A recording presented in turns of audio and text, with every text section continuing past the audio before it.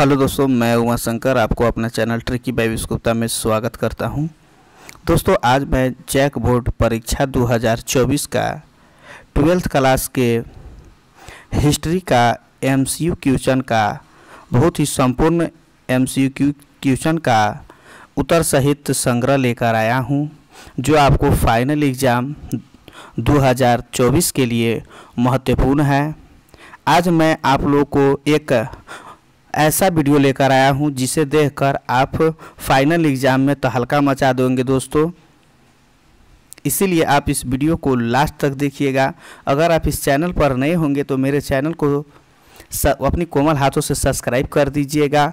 और जितना हो सके अपने दोस्तों में शेयर करना नहीं भूलेंगे दोस्तों। तो चलिए दोस्तों, आज मैं आप लोगों को अंतिम प्रहार इतिहास पार, अनेक में एक हिस्ट्री, इतिहास का संपूर्ण एमसीयू क्वेश्चन संग्रह लेकर आया हूँ। एक ही वीडियो में टोटल क्वेश्चन को मैंने एमसीयू क्वेश्चन, जो चैप्टर बाय चैप्टर होता है, उसका एक ही वीडियो में मैंने संग्रहित कर दिया हूँ, जिसे देखकर आप फाइनल एग्ज़ाम में का एमसीयू क्वेश्चन में तहलका मचा देंगे। अर्थात 40 नंबर का क्वेश्चन इस वीडियो से आने वाला है। इसीलिए आप इसे बहुत ही गहन माध्यम से देखें और अपने नोटबुक में इसे ज़रूर से ज़रूर लिखें। तो चलिए दोस्तों, हम लोग देखते हैं संपूर्ण चैप्टर बीस क्वेश्चन और कौन कौन से क्वेश्चन वीवीआई है और कौन कौन से क्वेश्चन, चालीस क्वेश्चन आने वाले हैं। उसको बारे में हम इस वीडियो में अच्छी ढंग से देखेंगे। हमारा पहला चैप्टर से एम सी यू क्वेश्चन है। पहला क्वेश्चन हमारा यहाँ कह रहा है, भारतीय पुरातत्व का पिता किसे कहा जाता है? तो इसका राइट आंसर आपका हो जाएगा। ऑप्शन नंबर ए कनिंधम को कहा जाता है। इसके बाद अगला क्वेश्चन देखते हैं। हड़प्पा सभ्यता में सर्वप्रथम किस स्थल की खोज की गई थी? तो इसका राइट आंसर हो जाएगा, हड़प्पा। इसके बाद अगला क्वेश्चन हम लोग देखते हैं, हड़प्पा सभ्यता के किस नगर में दुर्ग दीवार से घिरा हुआ नहीं मिला है? तो इसका राइट आंसर हो जाएगा ऑप्शन नंबर सी लोथल। इसके बाद अगला क्वेश्चन है, सिंधु घाटी सभ्यता में विशाल स्नानगार के अवशेष कहाँ से प्राप्त हुआ था? तो इसका राइट आंसर हो जाएगा ऑप्शन नंबर सी मोहनजोदड़ो से। इसके बाद अगला क्वेश्चन हम लोग देखते हैं तो क्वेश्चन हमारा है, सिंधु घाटी सभ्यता ने, में शिल्प उत्पादन का एक प्रमुख केंद्र था तो कौन सा था? तो इसका राइट आंसर हो जाएगा ऑप्शन नंबर डी चहनदुदड़ो इसके बाद अगला क्वेश्चन है, मेसोपोटामिया के प्रलेखों में मेहुल, मेलुहा शब्द का प्रयोग किस सभ्यता के लिए किया गया है? तो इसका राइट आंसर हो जाएगा ऑप्शन नंबर ए हड़प्पा सभ्यता के लिए। इसके बाद अगला क्वेश्चन है, लोथल कहाँ स्थित है? तो इसका राइट आंसर हो जाएगा ये गुजरात में। इसके बाद अगला क्वेश्चन हड़प्पा किस किस नदी के किनारे स्थित है? तो इसका राइट आंसर हो जाएगा ए, रावी नदी के किनारे। इसके बाद हम लोग अगला क्वेश्चन देखते हैं, सिंधु घाटी के निवासियों को सोना कहाँ से प्राप्त हुआ था? तो इसका राइट आंसर हो जाएगा ऑप्शन नंबर सी, कर्नाटक से। इसके बाद अगला क्वेश्चन है हड़प्पा सभ्यता में बंदरगाह का प्रमाण कहाँ से मिला था? तो इसका राइट आंसर हो जाएगा ऑप्शन नंबर ए, लोथल से। इसके बाद अगला क्वेश्चन है, हड़प्पा सभ्यता का किस देश के साथ व्यापारिक संबंध नहीं थे? तो इसका राइट आंसर हो जाएगा ऑप्शन नंबर डी, चीन से नहीं थे, बाकी सबसे थे। इसके बाद अगला क्वेश्चन देखते हैं जूते हुए खेत का प्रमाण कहाँ से मिला था तो इसका राइट आंसर हो जाएगा ऑप्शन नंबर सी कालीबंगा से। इसके बाद अगला क्वेश्चन है, हड़प्पा हड़प्पा वासियों को लार्जवर्द मनी कहाँ से प्राप्त हुआ था तो इसका राइट आंसर हो जाएगा ऑप्शन नंबर सी सुरत सुरत सुरत घई से। इसके बाद अगला क्वेश्चन है, क्षेत्रफल के अनुसार सिंधु घाटी सभ्यता का सबसे बड़ा नगर कौन सा है? तो इसका राइट आंसर हो जाएगा option number B Mohenjodaro. Mohenjodaro का अर्थ मृतकों का टीला होता है। इसके बाद अगला क्वेश्चन है, हड़प्पा सभ्यता की लिपि की मुख्य विशेषताएँ क्या थी? तो इसका राइट आंसर था, है ऑप्शन नंबर ए यह दाएँ से बाएँ की ओर लिखी जाती थी। इस तरह से मैंने आप लोगों को चैप्टर वन का एम क्वेश्चन दे दिया हूँ। अब हम लोग चलते हैं चैप्टर टू में। अगला क्वेश्चन कह रहा है, अशोक के अभिलेख को सर्वप्रथम किसने पढ़ा? तो इसका राइट आंसर हो जाएगा ऑप्शन नंबर इसका आंसर हो जाएगा option number C Prince Prinsep ने पढ़ा था। इसके बाद अगला क्वेश्चन है, अभिलेखों में देवनाम प्रियदर्शी किस राजा को कहा गया है? तो इसका राइट आंसर हो जाएगा ऑप्शन नंबर ए अशोक को।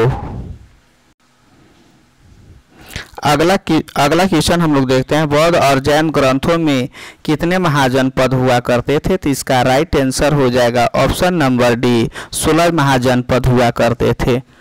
मगध महाजनपद की प्रारंभिक राजधानी कहाँ थी? तो इसका right answer option number A हो जाएगा राजगीर, जिसको हम लोग राजगीर कहते हैं। उसके बाद पाटलिपुत्र हुआ था, इसके बाद पटना हो गया है।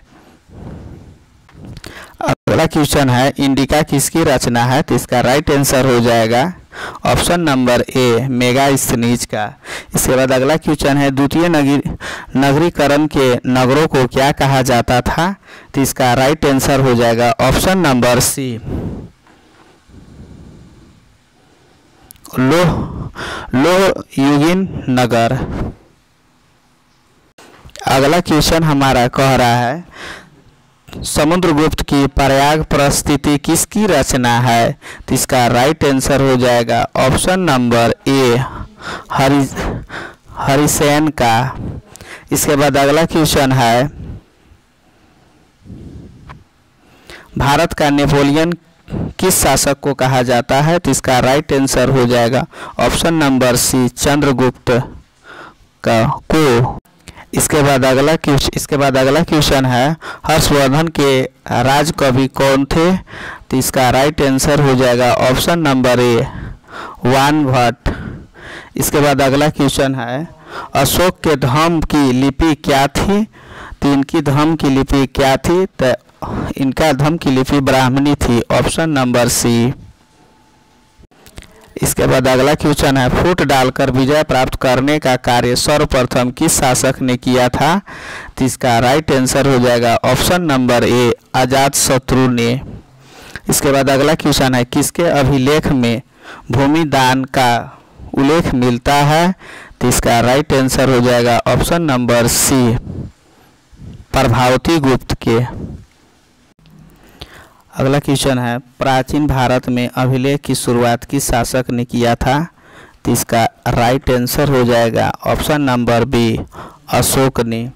इसके बाद अगला क्वेश्चन है, मुद्रा राक्षस किसकी रचना है तो इसका राइट आंसर हो जाएगा option number C Vishakha Datta इसके बाद अगला क्वेश्चन हम लोग देखते हैं। अपने स्वयं के खर्चे से सुदर्शन झील की मरम्मत किसने करवाई? तो इसका राइट आंसर हो जाएगा ऑप्शन नंबर बी रुद्रदामन ने करवाई थी।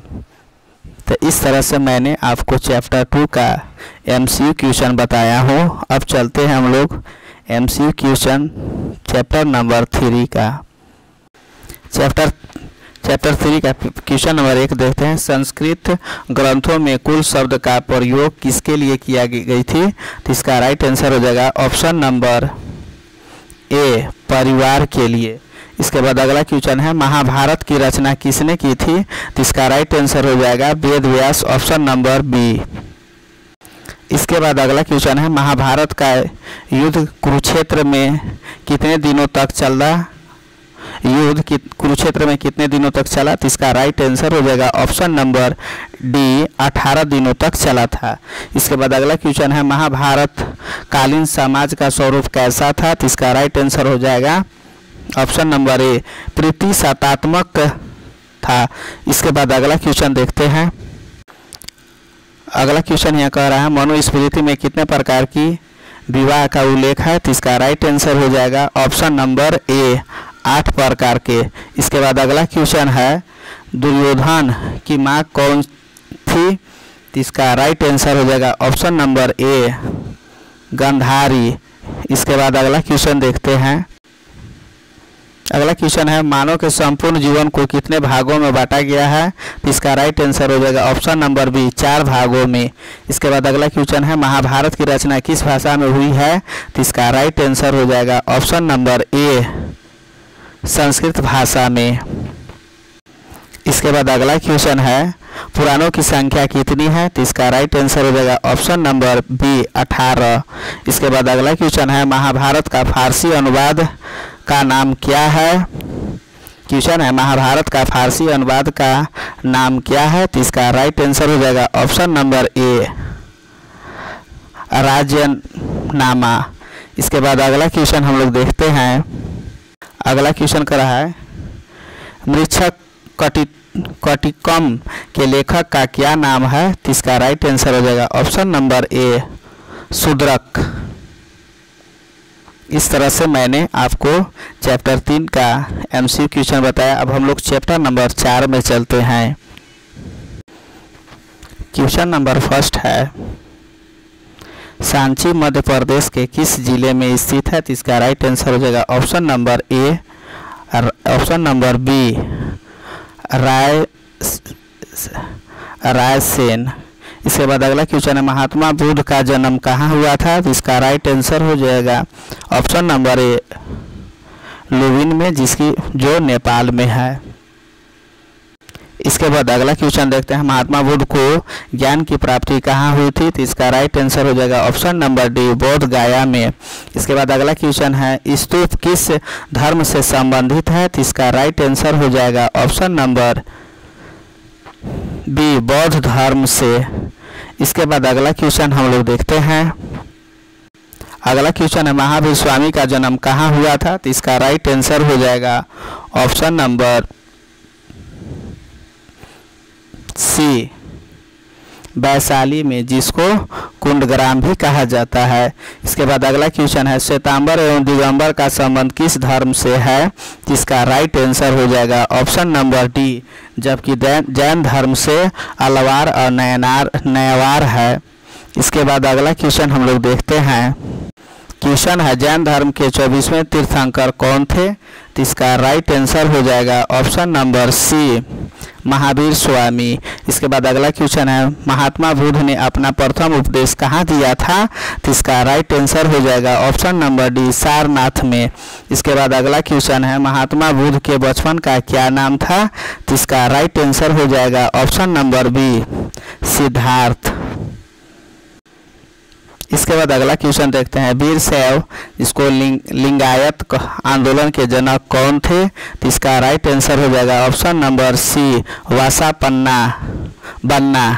इसके बाद अगला क्वेश्चन है महावीर स्वामी के बचपन का क्या नाम था? तो यहाँ पर इसका राइट आंसर हो जाएगा ऑप्शन नंबर बी वर्ध वर्धमान।